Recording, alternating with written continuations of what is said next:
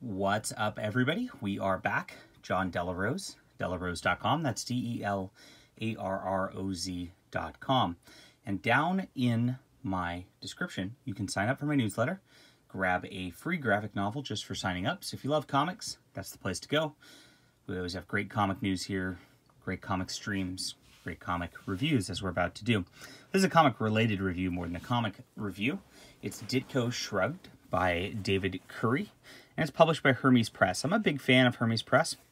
Got these beautiful hardcovers, and I've got their Zorro books and their Buck Rogers books, and I'm trying to hunt down some of their Shadow stuff that's out of print. But they do a good job typically, and are people who are really interested in the history of comics, and this is no different. So Ditko's got a few biographies made about him at this point. I believe there's actually another one coming out in just a couple of months. Uh, but the primary one that people know of is Blake Bell's uh, biography, which is under Fantagraphics. So I'll talk a little bit about how that compares to this and the differences between the two as we go on. Uh, got some nice art. Uh, they've got a sort of a paperback construction with uh, non-glossy paper. I appreciate that. I really don't like glossy paper, so I think I think this is a really nice constructed book. It's got an intro from Mark Ditko after we get through some of the, the artwork at the beginning, who is Steve Ditko's nephew, who corresponded with a, a little bit online. Super nice guy, and uh, he's really interested in preserving his uncle's legacy, which I appreciate. So this was nice to actually have someone from the family uh, involved here. And you'll see that there's a few uh, sources of Mark Ditko through here. So uh, David Currie, uh, interestingly, has corresponded with, with Steve Ditko quite a bit. And there's a lot of letters back and forth that uh, he reprints the bulk of them in here. And it's kind of nice because you get this firsthand perspective of a lot of the issues that kind of are, are a lot of rumors online. So we get a, a nice uh, introduction at the beginning where it talks about a little bit of his objectivist work and all that before getting into uh, everything here. It starts out with a little bit of like, you know, commentary uh, about, you know, him leaving Marvel in 1965 and kind of going his own way. Somebody very different than you would get in uh, most things. And then it kind of delves into a his historical period after, after uh, kind of dealing with some of the obvious questions about, you know, his relationship with Stan Lee and things like that. And, uh, and what he got into here. Here's one of the letters reprinted uh, pretty awesome that these are included in here. I'm, I enjoy that. I also enjoy that he talks to Ditko um, with, or, or, rather about Ditko with without a judgment against his philosophy. One thing about the other biographies I've read, including Blake Bell's, is, is it kind of has like this sneering attitude about his independent work and his philosophy. David Currie obviously very much respected Mr. Ditko and his choices, uh, which which I appreciate reading this because it comes with a different um, perspective, which is much more neutral or positive towards Mr. Ditko, which I, I, think the man deserves. I mean, he really lived a life where he did it on his own terms. He created art on his own terms, and he stuck to it no matter what. There's a lot of talk in here where there's a couple different assignments that would have been really cool for him to have or really would have made a ton of money if he would have done it and he just said no just because he wasn't interested in doing on that and he's got his own work. He doesn't really want to revisit the past which is something that a lot of commercial artists uh, do uh, very often.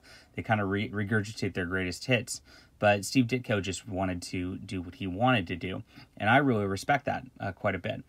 It starts out with his um, after the intros and all that a, a sort of history of how he got into comics uh, the things that he was interested in, and the, the awesome artwork he did at Charlton and other companies in the 1950s with short works, which I highly recommend picking up the Fantagraphics uh, Ditko archives because they reprint almost all of that work, and it's really, really good. Uh, it's very, very much worth the read compared to a lot of comics.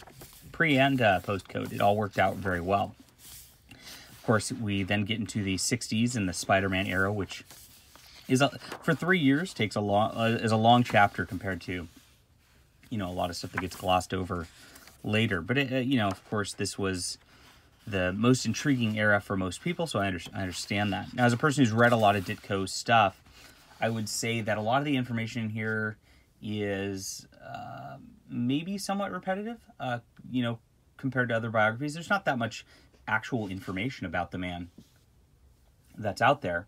Uh, but because it includes so many letters, uh, it's got a, a, different cool vibe to it. Uh, and second, I would say that um, David Currie filled in a lot of the information with interviews with like Roy Thomas or interviews with you know some some other artists or, or inkers or people who worked with Ditko or people who worked around Ditko. Um, I'm a big Tom DeFalco fan, and Tom DeFalco has has some nice uh, interviews in here also.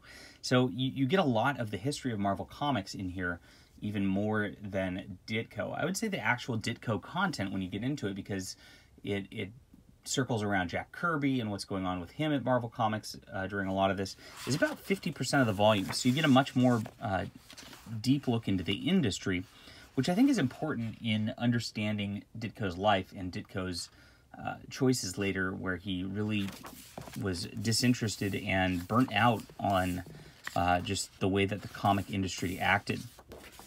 Um, so if you're interested in just a history of Marvel Comics, don't don't think that this is like you know a big treatise on his objectivist work, which you know I mean he does cover that in here as it goes later on, and Steve Ditko makes his choices with Mister A, and uh, works for witzend and uh, and and does more Charlton work in the '70s, but it covers everything. You see, there's some Roy Thomas pictures right there. Really covers a whole swath of Marvel Comics which is really interesting. And of course, his work with DC also. Um, so I read this in one day. I gobbled this up pretty good. I loved it.